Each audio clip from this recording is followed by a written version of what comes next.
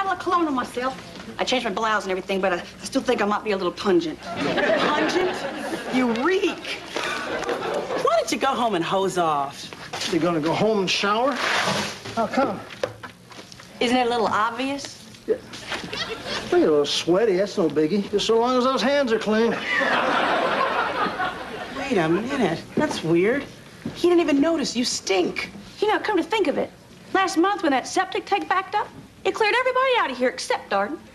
Do you think it's possible that Darden doesn't have a sense of smell? I don't know, but if you can't smell, you can't taste. And if you can't taste, You, can't, cook. Whoa.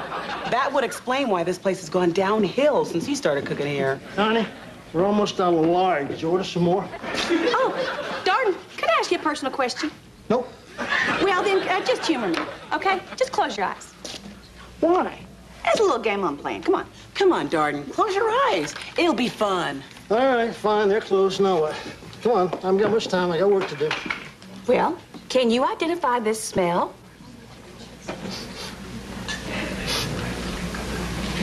Yeah. That's our soup de jour, clam chowder. Okay. Just keep your eyes shut just one more minute. How about this? Cheeseburger. No, no, no, no, no. It's a dish towel. No, hold on. It's a a cat. Darden, you can't smell. No one in my family smells. Darden, if you can't smell, you can't taste. And if you can't taste, you can't. Cook. Well, I guess. Uh,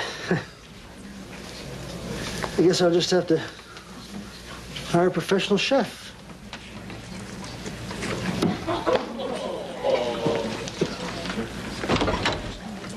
A cat. he didn't even say a burning cat.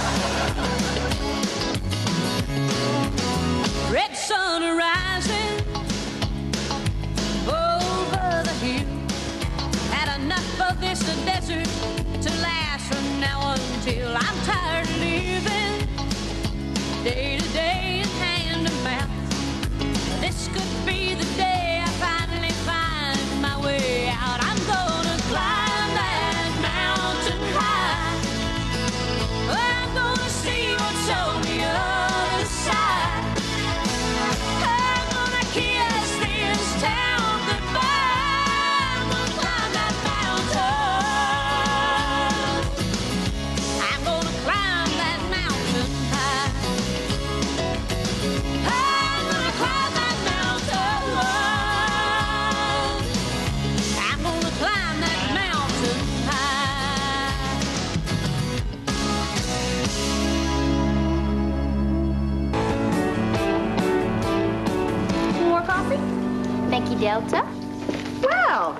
about the exciting night I had last night? Do we have a choice? No. Mom and I had dinner at five. After dinner, we washed the dishes. I washed, she dried, because Mom doesn't believe in using a dishwasher. then we watched Wheel of Fortune, Jeopardy, and Matlock, which was a rerun, and Mom told me who did it. then we played Canasta. After three hours, I was down a nickel. And that's the most fun we have had all week. Is there a point to this story? If you had a brain, there would be. Since Mom and I started living together, I don't have a life. No, no, wait, I'm wrong. I do have a life. It's just the life of a senior citizen. Hey, dog patch dwellers. Where's the lunch crowd? It's not Saturday. They can't all be home taking a bath. Well, actually, they're out weasel hunting, but I think you'll be safe in here. No, so really. Where is everyone? Eating someplace where the food is edible? Well, Darden still hasn't hired a cook yet. No one's even applied. Here, this might explain why. Full-time cook wanted to the Green Lantern. Experience required. Looking for a mature individual with a good sense of smell. And check out that salary. Only an idiot would work for that. Let me see that. Well, I'm not that mature, but I do have a good sense of smell. You cook? Oh, come on, Buck, get real. You can't even pour your own cereal into a bowl. Oh, ha ha. You know, ever since I've been laid off, Bonnie's been bringing home the bacon, but I've been frying it. Isn't that right, Bonnie? Not just bacon, other meats. Well, I'm gonna give it a shot. A man's gotta work. That's what gives him his dignity. Hey, Darden, please, please, please, I need a job. This I gotta see. Whoa, that was ugly even for Buck. How long has he been out of work? Three days. But he's a very proud man. God knows why. Well, look, if he's out of work much longer, maybe I can hire him to babysit Mom. I can teach him how to play canasta. He is trainable, isn't he? Listen, Delta, I've been thinking about your mom. And maybe the best way to get her out of the house is to hook her up with a guy. A guy and my mom. mm. Yeah, and I know the perfect person. His name is Bob Gray. He's a widower. He sings in the church choir, and he just recaulked my mom's bathroom. And he's still single? Wow. You know, maybe you're right. Maybe it is time for Mom to start dating again. Dad's been gone a few years. But I don't know how we're going to get her to go along with this. I know. Um, how about if I invite Mr. Gray to ladies' night tonight, and you get Aunt Roz to come? No, it'll be just like studs. I'm there. Okay, let's do it, Levon. I don't know how I'll do it, but I'll get her here somehow. Hey, you guys, come here. You gotta see this. This is absolutely amazing. Come here, Buck. Buck, I want you to smell this and see if you can tell us what it is. Raisin bread, lightly toasted. Raisin bread, lightly toasted. Try this one, Buck. Ground round. Ground round. Buck, this is a little tougher. Take your time.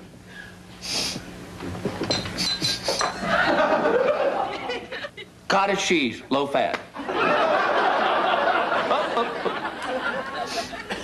Small curd. Congratulations, Buck. You just got yourself a job. Thank you, Darden. You won't regret it. Bonnie, I got my dignity back. Chair.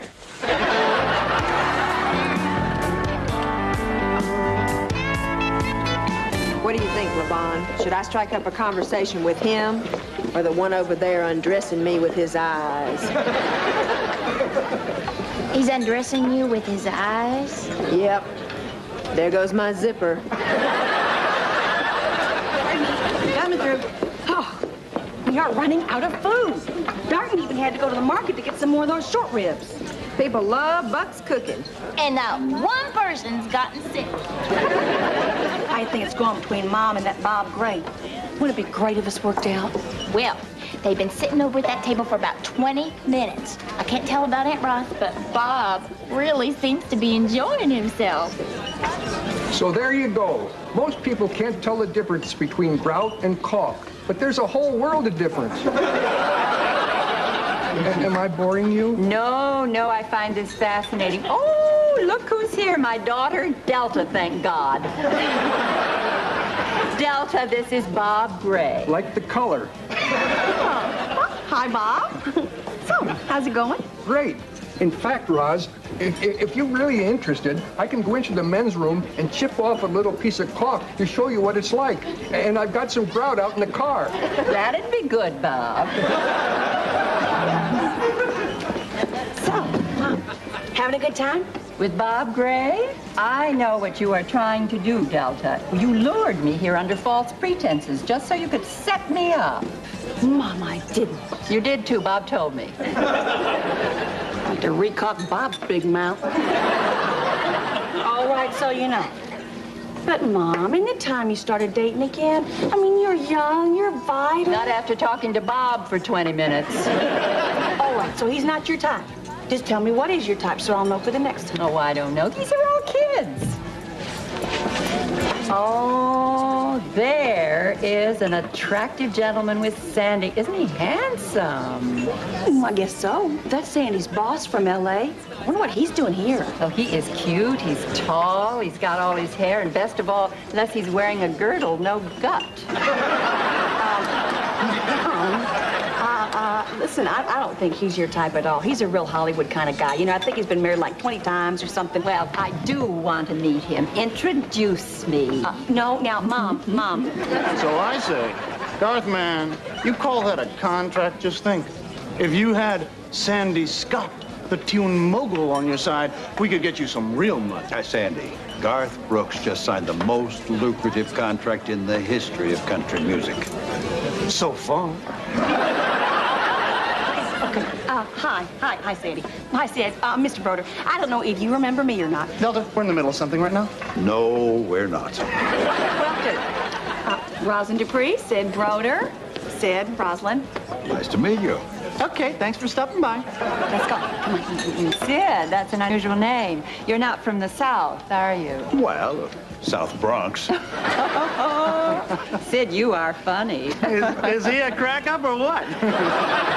That is very unusual for such a handsome man. Although Alex Trebek does occasionally get off a good one. Mom, Alex Trebek. I uh, met Alex Trebek at a party once. I found him very amusing. You actually met Alex Trebek in person? Well, you get used to that sort of thing in Hollywood. Yeah, Trebek's hot. Well, it was just a pleasure to meet you again, Sid. So, uh, Rosalind, are are you from Nashville originally? Uh, no, I am from a small town near here. Really? You don't seem like a small town girl. Yes, well, after my husband died, I, I decided not to stay there, and I have been traveling the world. Oh, I love to travel too. No, traveling's the best. Does your wife enjoy traveling as well? Well, my third wife did. Unfortunately, she uh, left me for a pilot. you find that funny? uh, to, uh, to answer your question, I, right now I'm unattached. Really? Really. Really? Really? So, uh, Sid, have you seen much of our fair city? Well, no, every time I'm here, it's strictly business. Oh, I hope you won't think I'm brazen, but uh, it's still early enough to show you some local color. Oh, Mama, I'm sure Mr. Broder's got much more important business to do. Are you kidding? I'm just here with Sandy. I'll see you in the office tomorrow. I'm going to enjoy myself this trip. Bye, baby. Thanks.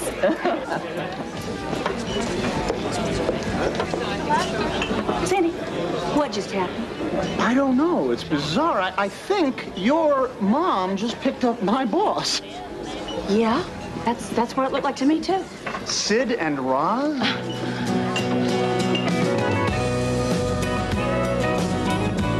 Where the hell is she? It's two o'clock in the morning. Why hadn't she called? Maybe she's busy with Mr. Broder. Thank you, Thelma. Thank you. You just conjured up a lovely visual image. I don't know. Maybe it was inevitable. It's been a long time since Roz has had any male companionship.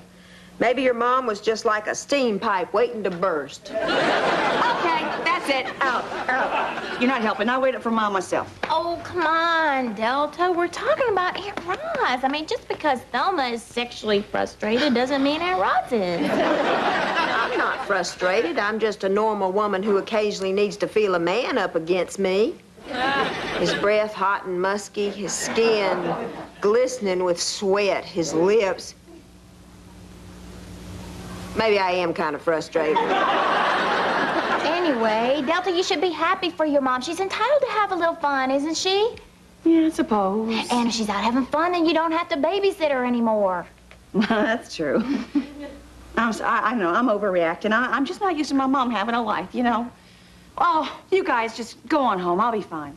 Okay. Okay.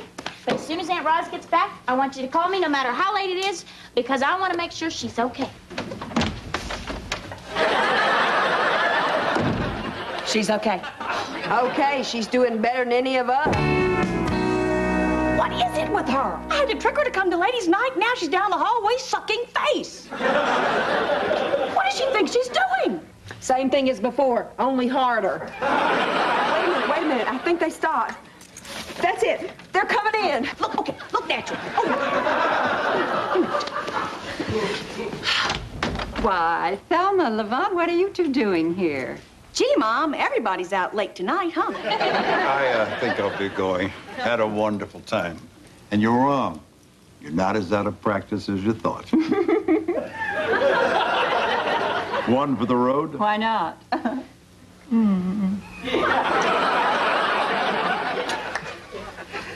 Good night. Good night, good night.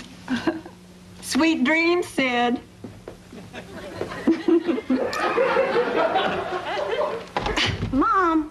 Do you have any idea what time it is? Time. It's 2 o'clock in the morning, Mom. Is it? I had no idea. Sid is such a charmer. When he was up against you, was his breath all hot and musky? Okay, that's it. Come on, show's over. Nothing to see here. Let's go. Come on. Come on. Come on. I'll call you tomorrow for details. Oh, honey, thank you so much for talking me into going to ladies' night. I can't remember having a better time. It's real nice, my mom. Now, I'm real happy for you. But next time you're going to be out so late, would you just do me a favor and call? I was worried. Yes, I know I should have called, but the night just got away from us. Isn't he dreamy? Yes, Gidget, Moondoggy's the coolest. Montgomery Party at 5. Montgomery Party at 5.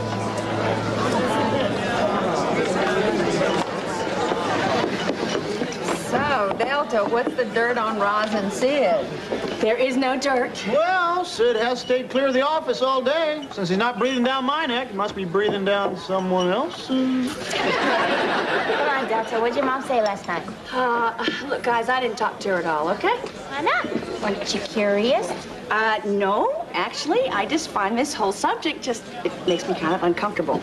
You mean Aunt Roz dating? No, not exactly her dating. It's just that, I don't know. One, one minute she's practically a shut-in, and the next she's going at it in the hallway with Sid.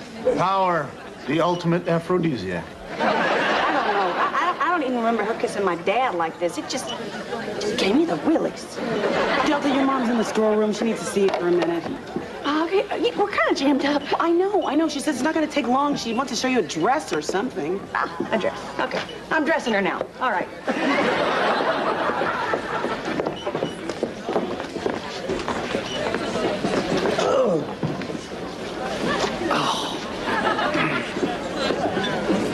Bud, what the hell are you doing? There must be 50 orders back there.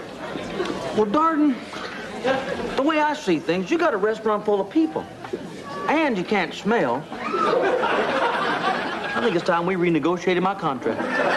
Buck, you've been here less than two days and you want to renegotiate? Ball players do it all the time. So what do you think, baby?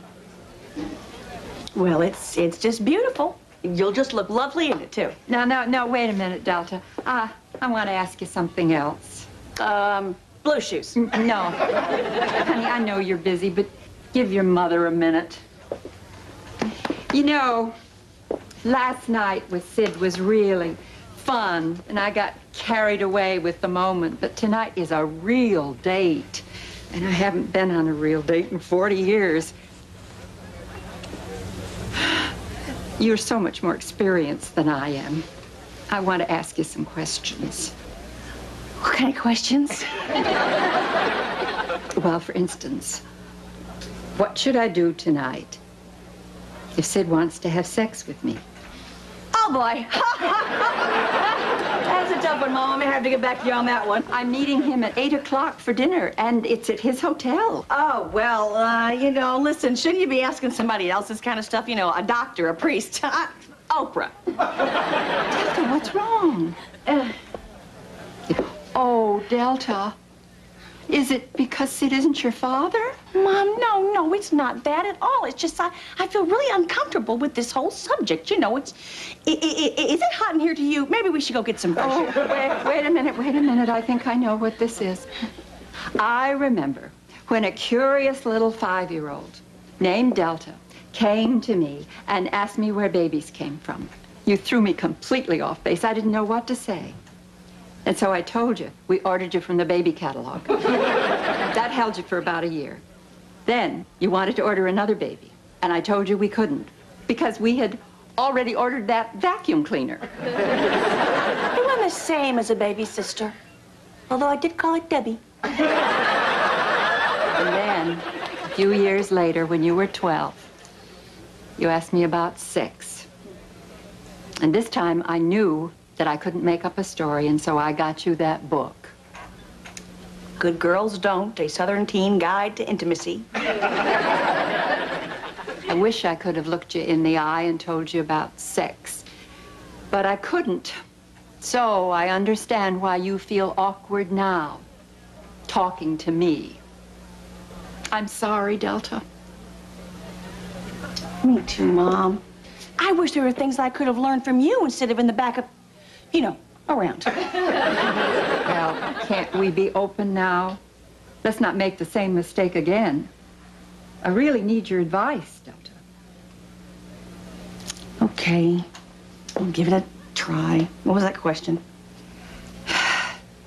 What should I do tonight if Sid wants to have sex with me? Oh, oh, well, do you want to, uh, um, with him? Maybe eventually, but tonight I would just like to have dinner, maybe have fun, maybe smooch a little. Oh, well, that's, that's easy, Mom. You just, you just go at your own pace and do what you want to do. Really? That's great. I thought maybe it was mandatory in the 90s. No, not at all. well, well, I just, I feel a lot better now. That, that was, uh, that was really good. I think we, we made some strides here in the relationship. I think so too. Oh, okay. Well, now that we've talked about it, I think I can handle it. No problem. Oh, there he is now. Shh. I want to surprise him. Oh, my sweet magnolia.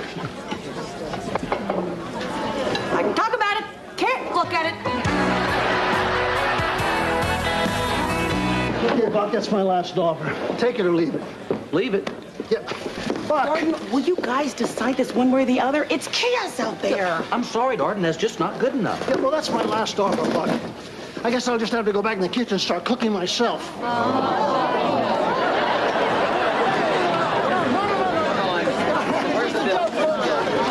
just a joke. No, no, please, everything's just fine. Everything's okay. Excuse me. Chef, just taking a little break. Okay, you got me over a barrel. Let's go. I'll meet your demands. I just want you to know. I think it stinks. And how would you know?